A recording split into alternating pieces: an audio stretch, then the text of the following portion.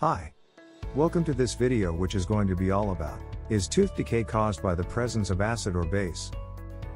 In just a moment I'm also going to show you, the most overlooked types of foods that cling to your teeth and why you need to avoid them as much as possible in order to prevent or stop tooth decay. But now, is tooth decay caused by the presence of acid or base? Our mouths are full of bacteria.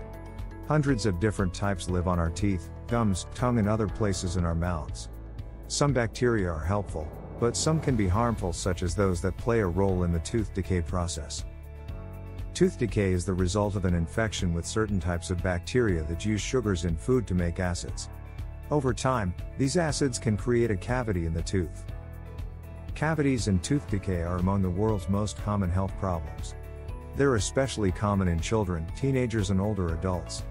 But anyone who has teeth can get cavities, including infants. The tooth surface, mostly the enamel or dentin, when it has food debris stuck in it, ends up being attacked by caries causing bacteria.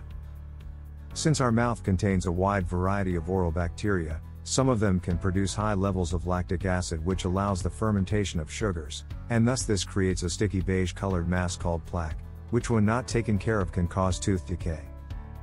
With increasing time, the enamel and dentin of the teeth gets damaged, thus creating a cavity and changing the color of the tooth. Simple sugars found in food often are the primary source of bacteria, which are further consumed up by bacteria, transforming the sugar into an acidic compound, and therefore causing caries.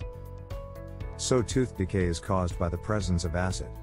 Sugars in the mouth are consumed up by bacteria and thus resulting in the formation of an acidic compound.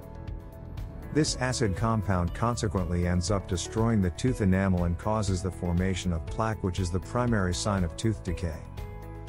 Although we use toothpaste to brush our teeth regularly, which contain a mild amount of base in their components, toothpaste do not cause any tooth decay. It is the acid that ends up hurting our teeth. Now, the most overlooked types of foods that cling to your teeth that you need to avoid as much as possible in order to prevent or stop tooth decay are foods that cling to your teeth for a long time, such as milk, ice cream, honey, sugar, soda, dried fruit, cake, cookies, hard candy and mints, dry cereal, and chips. This type of foods are more likely to cause tooth decay than foods that are easily washed away by saliva. Let me know in the comments, which of these foods you most consume on a regular basis.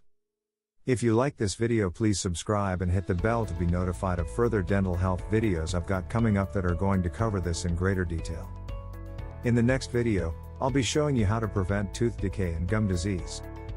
So, click on the image on the screen to go to the next video right now.